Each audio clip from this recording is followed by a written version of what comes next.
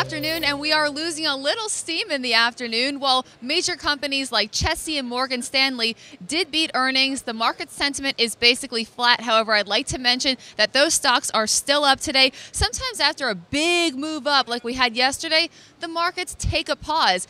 Also, what just broke is CIA Director Mark, Mike Pompeo did visit secretly last week North Korean leader Kim Jong un. While President Trump said that the meeting went very smooth, market participants could be unsure of what's next, what is up America's sleeve, or what's going on that we don't know in the meantime.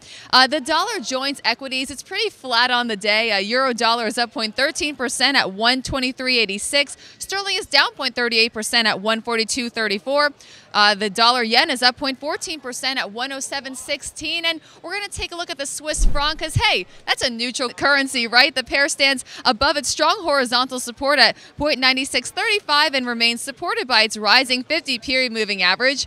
Long positions above 0.9635 are favored, with targets at 0.9695 and 0.9715 in extension. Bitcoin is down a little bit, 0.42% at 8,094. The upside prevails for gold that has broken above a declining trend line and remains supported by its rising moving averages. Long positions above 1,341 are favored, with targets at 1,358 and 1,365. Silver booming today, up 2% at 1710 a troy ounce. Follow Trading Central on Twitter for all of your Forex market updates and for Trading Central Web TV from the New York Stock Exchange. I'm Olivia Voznenko.